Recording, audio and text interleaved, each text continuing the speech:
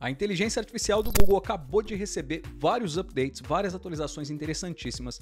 Então eu tirei um tempo para fazer esse vídeo e te mostrar quais são essas atualizações, como é que você pode utilizar. Agora você consegue conectar o Google Bard com seu Gmail, você consegue fazer pesquisas dentro do seu Gmail, você consegue pesquisar dentro do seu Google Docs, fazer aí um planejamento de viagem, pesquisar no YouTube, tem um monte de coisa muito legal que o Google trouxe para poder tentar realmente aí correr atrás do prejuízo e passar o Chat GPT. Será que essa ferramenta vai ser melhor que o Chat GPT? Não sei, mas eu já fiz alguns testes aqui, gostei do que eu vi e eu quero te mostrar. Fica comigo até o final desse vídeo. Eu sou o Rob, aqui eu falo sobre Canva, sobre design, sobre ferramentas. Se você gosta desse tipo de conteúdo, já se inscreve no canal. Tem vídeos assim todas as semanas, beleza?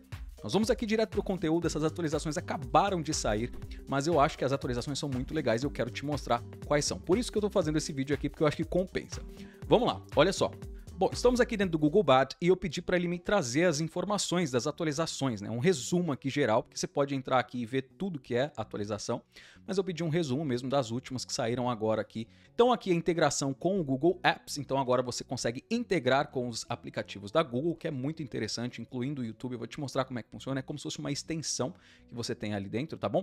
Você tem também aqui a opção de é, ter mais línguas, então eu vou te mostrar aqui em português, olha só, mais idiomas, capacidade de verificação de fatos, então o Google agora vai verificar os fatos daquela informação que ele está te trazendo para poder saber se são fatos verdadeiros ou não e te apontar para aquela fonte, que é muito interessante para quem cria conteúdo, para você não criar conteúdo é, achando que é verdadeiro e não é, porque a inteligência artificial muitas vezes vai, vai criar uma informação para poder te agradar de certa forma e essa informação nem sempre é verdadeira. Eu tenho um vídeo aqui no canal onde eu fiz uma viagem para Portugal e eu utilizei o chat GPT como meu guia e ele mentiu para mim algumas vezes. Depois você pode ir lá assistir o vídeo, eu vou deixar aqui para você ver. A atualização do modelo de linguagem do, do, do, Google e aqui ele dá alguns exemplos do que pode ser feito. Eu vou te mostrar, nós vamos abrir aqui é, o Google Bard, eu vou atualizar porque o meu está em inglês agora. Eu vou mostrar para você como é que tá. Então, quando você abre, olha só, ele está em inglês por um motivo, tá? Eu já vou te mostrar uma coisa que eu achei super interessante aqui. Nós vamos clicar aqui em imagem Olha só que legal. Eu vou pedir para ele, eu fiz aqui o upload de uma imagem de uma tapioca, tá bom? Eu vou pedir em português mesmo. Fiz aqui do, de uma tapioca, tá aqui. Ó, eu vou pedir para ele uh, qual é a receita para fazer isso. Ah, isso já, já tinha, mas agora ele melhorou muito mais. Ele consegue reconhecer as imagens de uma maneira muito melhor.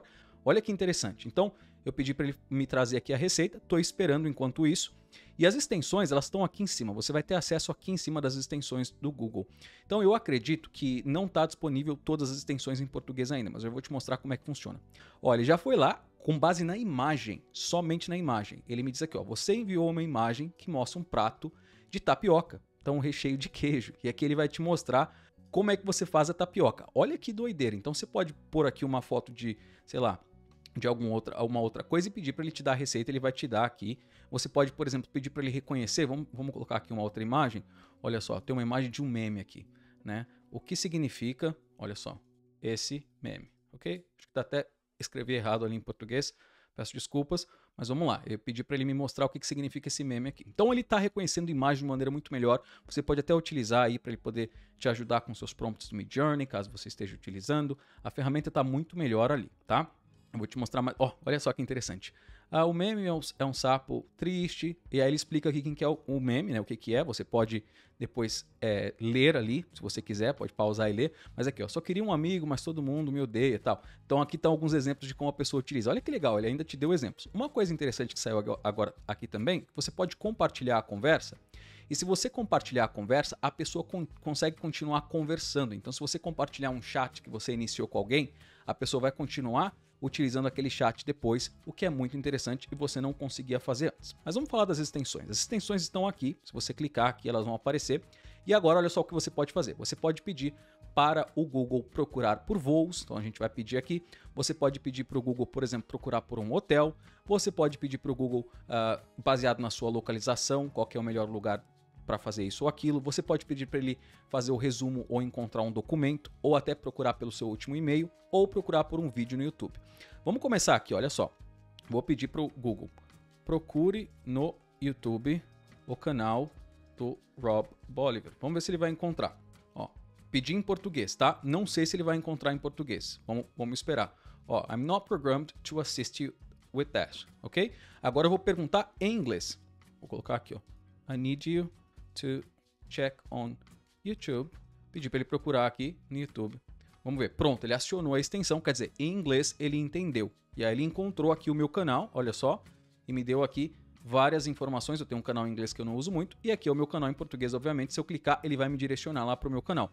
Olha que legal. Então, eu posso pesquisar por um vídeo aqui. Muito em breve vai estar disponível, obviamente, em português. Ele não está ainda totalmente em português ali, mas você pode pesquisar então por um vídeo, pedir para ele te ajudar a consertar alguma coisa, procurar por alguma coisa. Então eu vejo que isso talvez seja o futuro até para os criadores de conteúdo, né? Além de você ser bem ranqueado dentro do, do Google, talvez você vai ter que ser bem ranqueado dentro do Bard aqui também, quem sabe, né? Não sei se vai ser assim. Eu posso pedir para ele aqui, ó, ó, search, ó, pedir para voos de Paris para Dublin no dia 28. Nem sei, é, coloquei uma data aleatória aqui, né? Para a gente poder encontrar. Ele já acionou a extensão Google Flights. Então ele já encontrou aqui, olha só que interessante, já me trouxe os preços, né? Olha que, que interessante. E já me trouxe aqui os preços dos voos e as companhias e os horários. Isso é fantástico para quem quer viajar. Muito legal mesmo. Agora eu vou entrar aqui e vou pedir para ele, olha só. Uh, em português, vamos ver se ele vai entender. Se não, a gente pede em inglês, tá bom? Qual é o melhor restaurante de São Paulo para pizza. Okay? Vamos pedir em português. Se ele não entender, se você não souber inglês, você pode pedir para ele traduzir o que você escreveu em, inglês eh, para, para inglês e depois ele, ele traz. Ó, ele, de acordo com as minhas pesquisas, a melhor restaurante de São Paulo, a pizzaria do Brás. Mas ele não encontrou dentro da extensão. Agora eu vou perguntar em inglês, ok? Give me the best pizza place in. Vamos ver se ele vai encontrar, vai usar a extensão. Ó, acionou a extensão. Google Maps. Pum. Então eu acredito que vai ser assim daqui para frente, tá? As pessoas vão. Olha que interessante. Aí ele me dá aqui, né? Qualquer pizzaria, a melhor ranqueada, 4.5, 4.7, 4.7, 4.6 em São Paulo aqui. Então essas, essa galera dessas, pizzarias aqui, ó, fazendo um merchan para vocês aqui, e ele te mostra no mapa. Olha que interessante isso. E aí tem várias outras extensões. Eu posso vir aqui, por exemplo, e pedir para ele me dizer qual foi o meu último documento. Uh, what's my latest Google qual que é o meu último documento? Poema do chat GPT para o Bard. Ele, ele encontrou aqui. Foi um poeminha que eu fiz aqui brincando.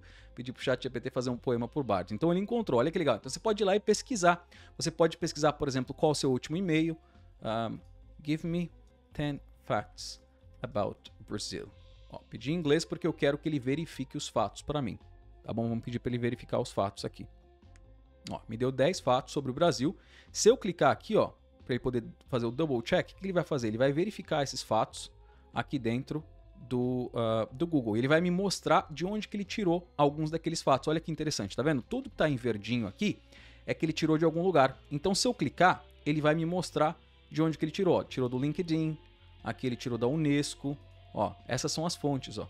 Então ele vai me mostrando. Olha que interessante. Isso é muito legal para quem cria conteúdo. Eu posso pedir para ele fazer alguma coisa aqui e ele vai me mostrar em verdinho o conteúdo que está verificado pelo Google e de fato é um conteúdo verdadeiro. Então, tem muita coisa interessante. Essas atualizações já estão disponíveis, a grande maioria elas estão em inglês, tá? Mas se você quiser, você pode ir lá e fazer a alteração. Vai aqui na tua conta do Google e faz ali a alteração para inglês, caso você queira testar e experimentar, tá bom? E tem o um link aqui também na descrição, caso você queira aprender mais sobre inteligência artificial, queira aprender como utilizar essas novas ferramentas. Muito em breve o nosso conteúdo vai receber um super update e eu tenho certeza que você vai gostar bastante. Dá uma olhadinha depois no link, te vejo no próximo vídeo, espero que você tenha gostado. Até logo, tchau, tchau.